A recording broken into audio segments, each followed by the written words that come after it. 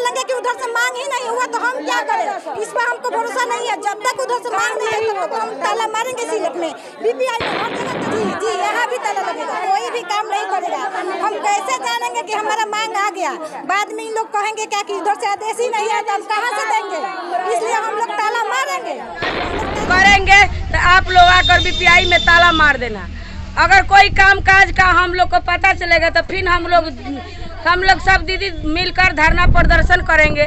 हम लोग C L आकर हम लोग ताला हमारी मांगे। दो हज़ार में दम नहीं।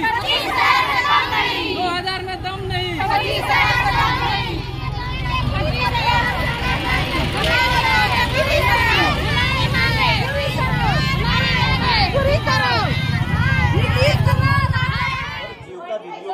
दस सूत्री मांग को लेकर। हड़ताल किया जा रहा है। कैसे इन लोगों को आप इंसाफ दिलवाने का काम करेंगे? जीविका दीदी का ये मांग पत्र प्राप्त हुआ है। तो मैं आज ही जिला कार्यालय भेज दूँगा इस मांग पत्र को। दस सूत्री मांग को लेकर जीविका दीदी लगातार हड़ताल कर रही है। और आपके भी कुछ आरोप लगाया जा रहा है कि आप धमकी उनकी नहीं ये गलत आरोप है मैंने किसी को कुछ नहीं बोला है। कोई गलत किसी को कुछ नहीं बोला है मैंने। बहुत सारी जीविका दीदी ऐसी है जो बीमार है। छोटे छोटे बच्चे गोद में लेकर वो लोग भी आई हुई हड़ताल। में हाँ तो मैंने बोला ना कि मांग पत्र मुझे मिला ही है। आज मिला है। मैं आज ही जिला कार्यालय को समर्पित कर दूँगा। इनका बात आप वहाँ पर जिला कार्यालय में रखेंगे? यस ये आज ही चला जाएगा जिला कार्यालय में। ये पेपर जो है आज ही जिला कार्यालय में भेज दूँगा मैं। अच्छा मानदेय को लेकर ये लोग लगातार सवाल उठा रही है कि मानदेय हम लोग का बहुत कम है। तो इसमें लिखा हुआ है ना मानदेय के बारे में कम नहीं है पच्चीस हज़ार से कम नहीं है। अरे भैया मेरे भैया मानदेय के बारे में लिखा हुआ है लोग। अब मैं ये कागज़ बढ़ा दूँगा। मैं तो बोल ही रहा हूँ कि कागज़ में बढ़ा दूँगा। आज ही चला जाएगा कागज़ इनका अच्छा इन लोग का कहना ये है कि विभिन्न प्रकार से इनको शोषित किया जाता है। इस पर आप क्या कहेंगे? ऐसा कोई बात नहीं है। ऐसे कोई बात नहीं है कोई शोषण हम लोग द्वारा नहीं किया जाता। है ये दीदी से मैंने पहले ही बात किया था कि मेरे आए हुए दो साल हुआ किसी को कोई मेरे से कोई आपत्ति नहीं है।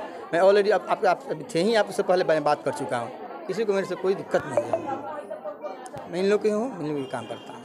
थैंक यू यहाँ पे सभी उपस्थिति दीदी और भैया को मेरा प्रणाम। मेरा नाम शबनम खातून। हम सर से सर तो मेरा पत्र ले लिए। हो जाने के बाद हल्ला करिएगा। यहाँ पे सभी उपस्थिति दीदी और भैया को मेरा प्रणाम। मेरा नाम शबनम खातून। और सर को हम पत्र दिए। सर तो मेरा पत्र ले लिए।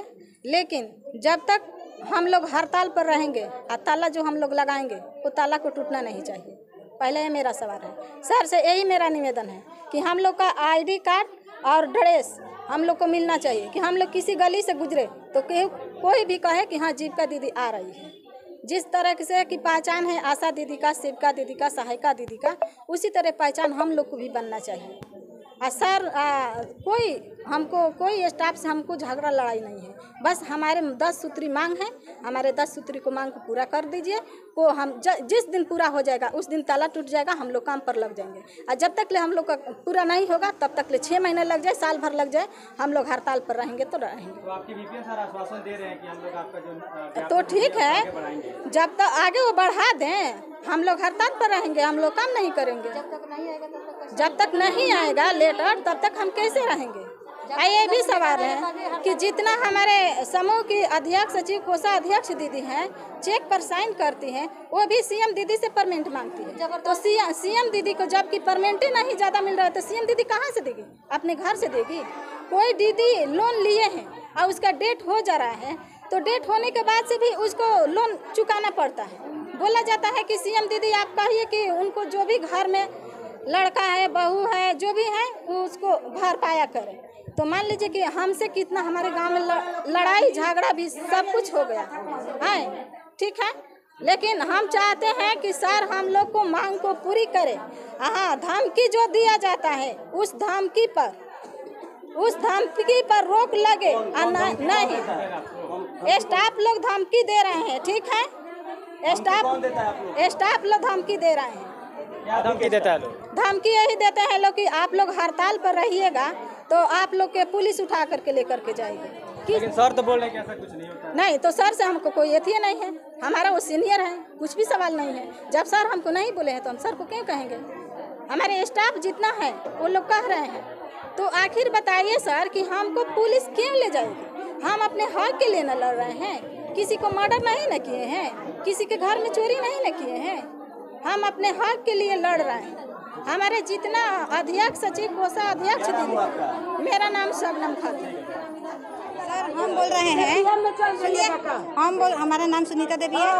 मैं उनका समूह देखती हूँ। कहना है कि हम लोग के जब तक मांग पूरी नहीं होगी तब तक सीएलएफ में और बीपीआई में सब जगह ताला लगा रहेगा। यहाँ भी ताला भी- जी जी यहाँ भी ताला लगेगा। कोई भी काम नहीं करेगा। हम कैसे जानेंगे कि हमारा मांग आ गया? बाद में इन लोग कहेंगे क्या कि उधर से आदेश ही नहीं है तो हम कहाँ से देंगे? इसलिए हम लोग ताला मारेंगे। हम लोग ताला मारेंगे हम लोग छोड़ेंगे नहीं। क्योंकि हम लोग का जब तक उधर से मांग पूरी नहीं होगा तब तक ताला नहीं खुलेगा। हम लोग ताला क्या? हम लोग का यही कहना है जो बीपीएम सर से पूछिए जो उनका का सहमति है। कह रहे हैं कि हम आवेदन आगे बढ़ा दे रहे हैं। बढ़ा दे रहे हैं। हम हम लोग ताला तोड़े खोलेंगे। नहीं तो नहीं खोलेंगे। हम नहीं जानते कि उधर से मांग आएगा। हाँ क्या करें यहाँ पर उपस्थित सभी दीदी और बाद में क्या बोलेंगे कि उधर से मांग ही नहीं हुआ तो हम क्या करें? इस पर हमको भरोसा नहीं है। जब तक उधर से मांग नहीं है तो हम ताला मारेंगे सिलेट में। बीपीआई में हर जगह ताला मारेंगे। उधर से मांग होगा तो हम लोग खोल देंगे। हम लोग काम पर आप लोग का मांग पूरा नहीं होगा ताला लगा ताला लगा रहेगा कोई भी काम नहीं करेगा कोई भी काम नहीं करेगा। हम लोग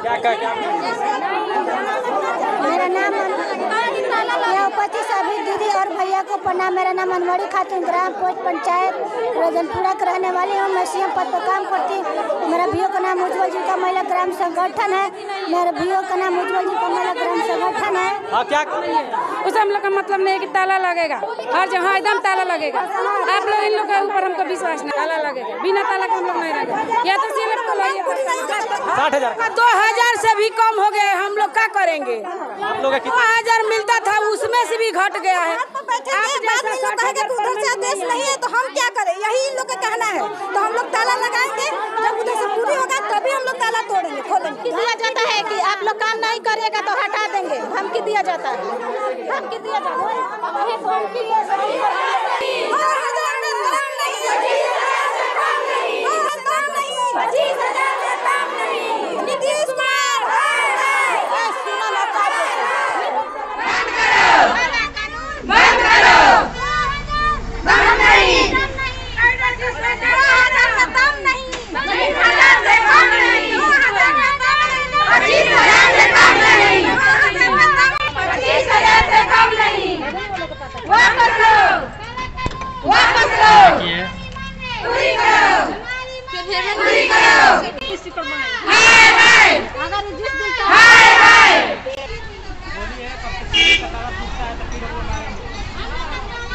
बीपीआई गए बीपीआई से बीपीएम सर से बात किए। हाँ। बीपीएम सर हमारे बोले जे हम लोग तीन दिन का आप लोग का मोहलत देते हैं कोई कार्रवाई मांग पत्र आप लोग सौंप दिया है तो हम लोग आपका मांग पत्र ऊपर बढ़ाएँगे हम लोग कोई काम काज करेंगे तो आप लोग आकर बीपीआई में ताला मार देना।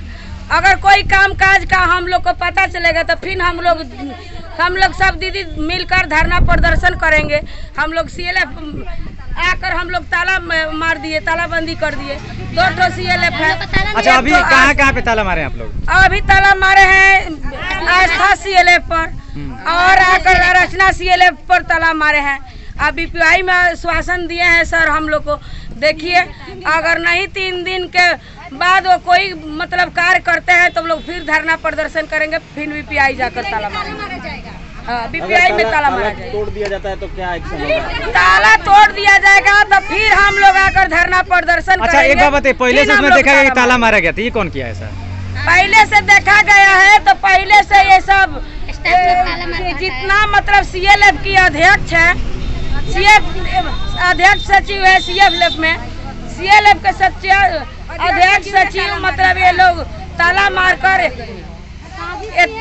सीएफ है और कौन कौन है दीदी क्या मांग? करती हैं आप? मांग क्या करते हैं? मांग करते हैं जो मांग में हम लोग का दस सूत्री मांग है। सरकार से हम लोग को यही मांग चाहिए जो हम लोग पहले पहचान पत्र कोई होना चाहिए कोई आईडी प्रूफ होना चाहिए। आईडी प्रूफ होना चाहिए उसके बाद से हम लोग का दो हज़ार से हम लोग का गुजारा होने वाला नहीं है। हाँ दो हज़ार से गुजारा होने वाला नहीं है। हम लोग का पच्चीस हज़ार मांग है। और हम लोग का जो कंडीशन सिस्टम है वो कंडीशन सिस्टम को बंद किया जाए और डायरेक्टली हम लोग को खाता में मानदेय होना चाहिए। सभी हम लोग कैडर दीदी का यही सहमति है। यही हम सरकार से कहना चाहते हैं। बहुत बढ़िया बहुत बढ़िया।